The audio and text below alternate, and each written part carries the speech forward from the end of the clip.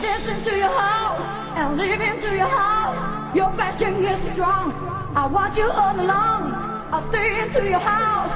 relate to your house. You teach me when and how. Let me touch your body now.